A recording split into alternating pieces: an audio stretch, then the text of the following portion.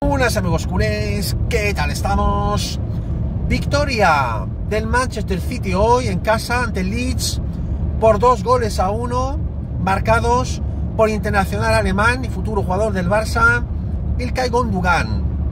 Hemos notado que Julián Álvarez ha sido otra vez eh, titular, ha jugado bien, pero no ha marcado. Pep Guardiola ha colocado al superdelantero argentino de media punta y también ha jugado como segundo delantero, cosa que no es la posición natural de Julián Álvarez. Y es que para ver al Julián Álvarez del Mundial de Qatar, al mejor delantero del pasado Mundial, tiene que jugar de punta. Atención a esta noticia bomba de última hora.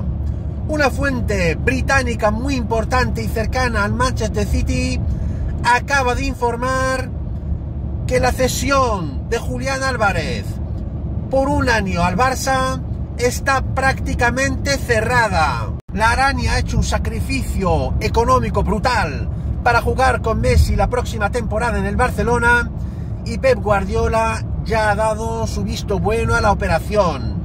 Mateo Alemán va a viajar en los próximos días a Manchester para cerrar los últimos flecos del nuevo contrato de Julián Álvarez. Esta ha sido mi gran noticia de hoy, amigos culés.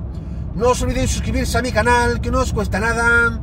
Pulsar un like como siempre y dejarme comentarios para cambiar opiniones. Muchas gracias. Forza Barça por siempre. Vamos a por todas. Y nos vemos muy pronto en mi próximo vídeo.